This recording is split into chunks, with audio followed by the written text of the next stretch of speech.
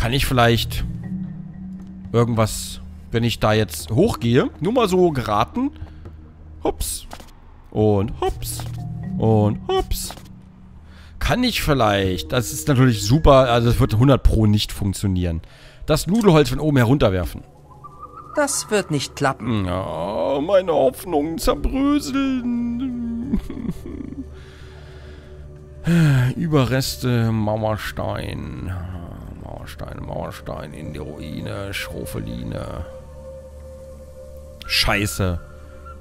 Ich fühle mich gerade so ein bisschen gestrandet. Ich weiß es wirklich gerade nicht. Ich habe jetzt gerade... Äh Dann kommt der Dicke bestimmt gleich wieder mit.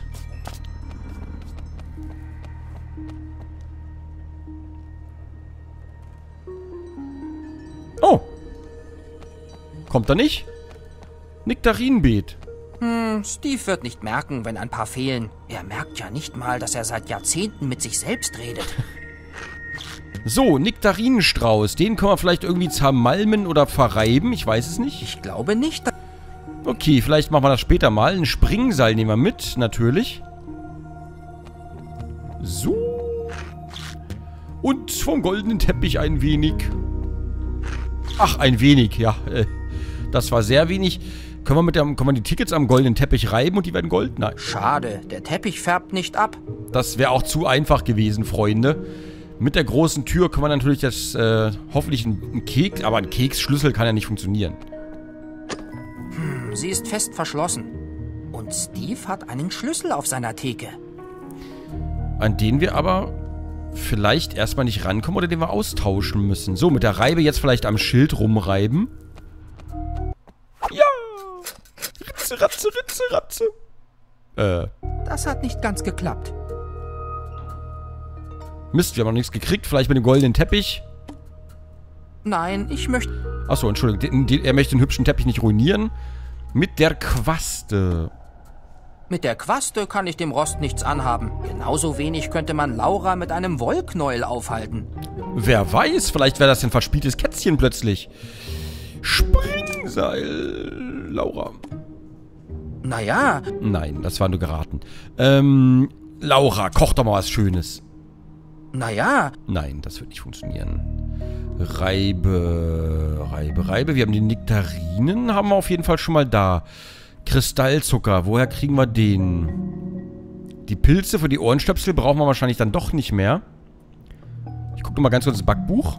Für 1A Weichkekse benötigt man eine Handvoll Kristallzucker, einen halben Liter Nektarinensaft, ein Kilo Mehl und eine Portion Schokosplitter. Mehl. Wenn man mehr Mehl nimmt, werden, werden die Kekse natürlich härter. Unser Problem ist, wir haben kein... Ach, vielleicht Steinmehl. Das wird nicht klappen. Alter, Steinmehl. Das wird... Komm mit dem...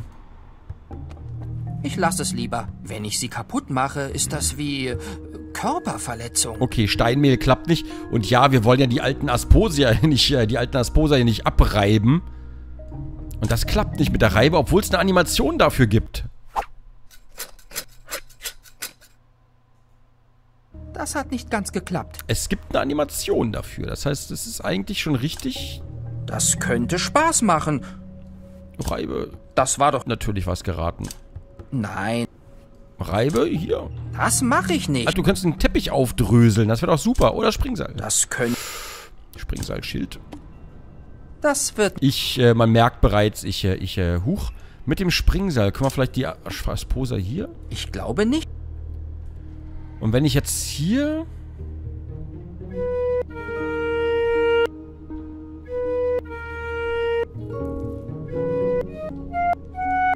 Das scheint nicht zu klappen. Okay.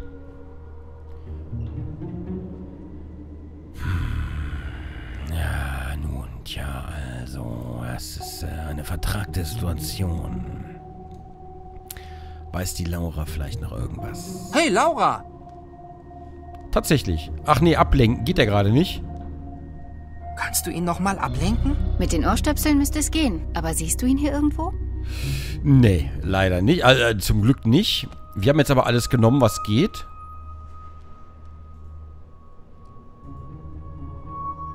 Und jetzt müsste man nochmal nach draußen begleiten. Dazu müssten wir ihm bestimmt die Tickets zeigen. Dann kommt er mit raus. Draußen können wir eh nichts machen. Da müssen wir später noch irgendwie von dem Schild irgendwas abdröseln. Ich weiß aber noch nicht genau was. Allerdings weiß ich auch nicht, was ich jetzt mit dem Nektarinenzeugs machen soll. Vielleicht in die Teigmaschine. Wir probieren es mal aus. Einfach mal. Können Sie uns den Innenhof mal zeigen? Haben Sie denn einen... Ja. Was? Du hast... Ja, haben wir. Dann möchten Sie... Bitte folgen Sie mir. Vielleicht muss er den Keksschlüssel nehmen. Dann später. Wahrscheinlich ja. Und jetzt müssen wir ihn ablenken lassen. Hey, Laura, Ich frage mich, wem das Springseil gehört. kannst du ihn noch mal ablenken? Mit den... Viel Okay. Glück. Alles klar. Bangel. Spar Faszinierend. Spargelkeks. Ach, ja. So, mal gucken. Was sind das überhaupt für Pilze, die wir mitgenommen haben? Ach, das sind die Ohrpilze, stimmt. Ich wollte jetzt nochmal gucken, aber... So, kann ich die einfach in die Rührschüssel packen? Geht das?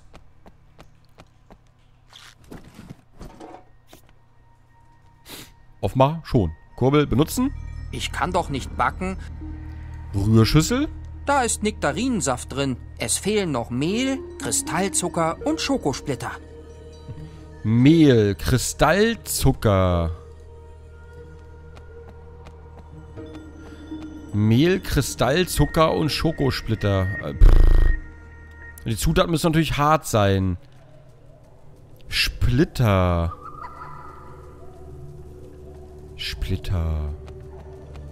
Dieses Symbol sieht aus wie ein Phosphos. Was passiert eigentlich, wenn ich jetzt, äh... Ach.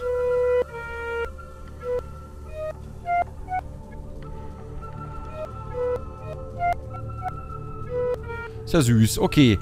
Bringt uns aber momentan nicht wirklich viel. Mit Farbmotten. Farbmotten. Damit kann man Stoffe einfärben.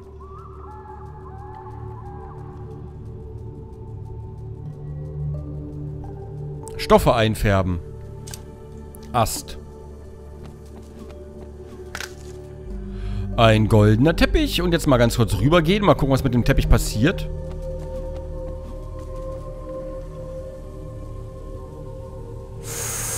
Offenbar nicht sehr viel. Huch, wir haben den Nektarinstrauß immer noch äh, dabei.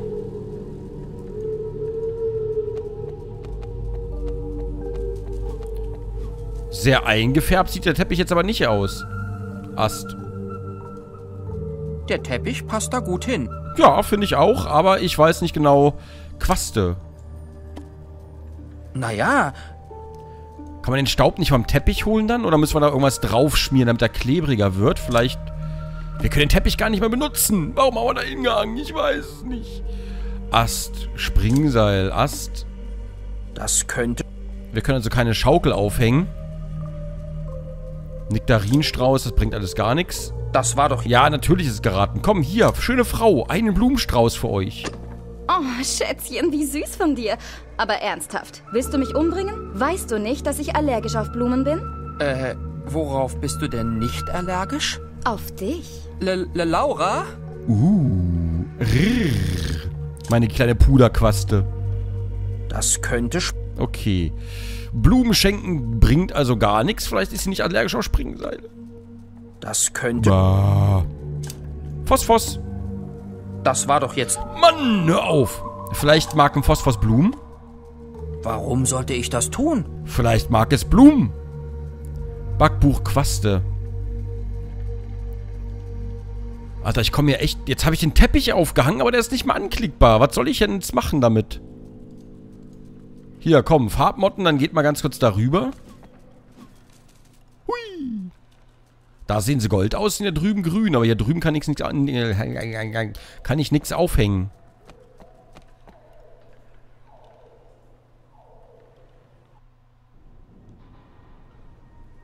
So, hüpfe ich hier mal rüber.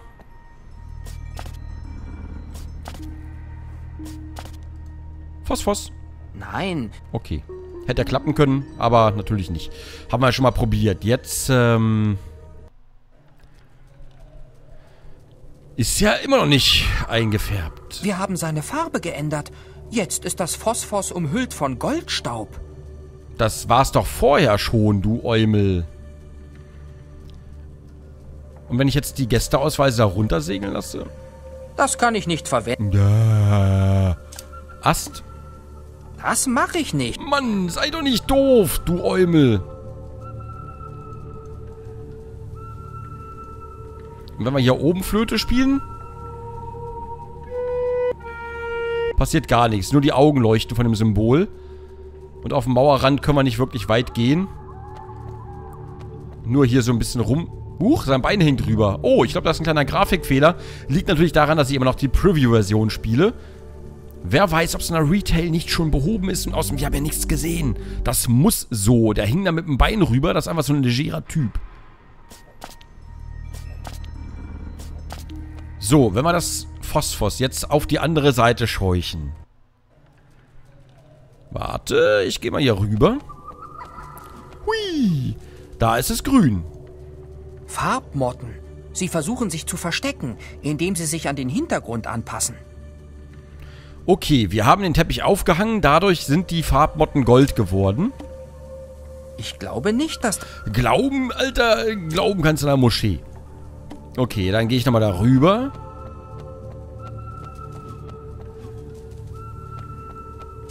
Phosphos. Tickets. Sie sind immer sofort wieder weg. Tja, Ich weiß nicht, was ich damit tun soll. Nein, ich habe keinen Durst.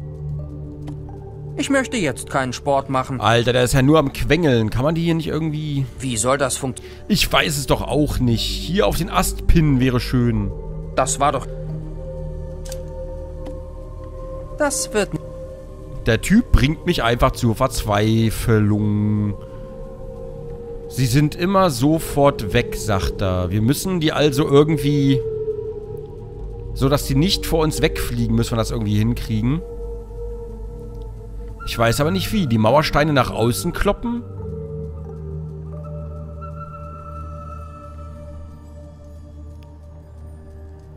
Von oben bringt das ja nur auch nichts. Und es hat nichts gebracht, dass wir die... Bis jetzt hat nichts gebracht, dass wir da oben hin können, auf dem Mauerrand. Mann. Ich bin verzweifelt. Ich frage mich, ob der Rumpel hier an der Stelle schneller weiterkommt. Da spielt er parallel. Und äh, ich weiß nicht genau, ob der hier schneller weiterkommt. Da bin ich... Äh, kann natürlich gut sein. Dann bin ich deprimiert, wenn der es schneller schafft. Oder, oder sich ihm diese Logik schneller erschließt. Ah, Kristall.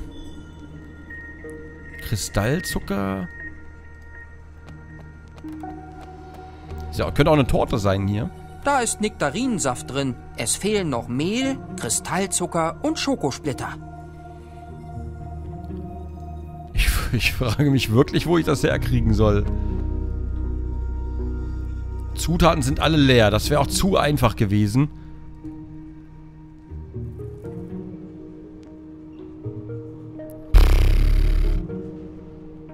Mauerrand.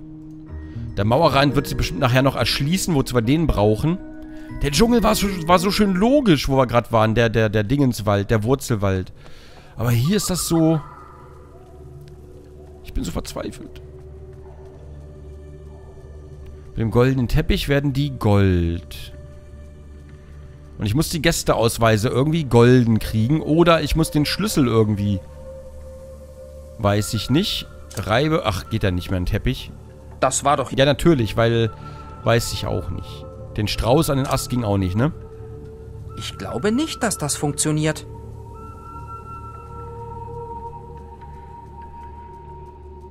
Mauerstein, Überreste. Bis jetzt bin ich echt super klar gekommen.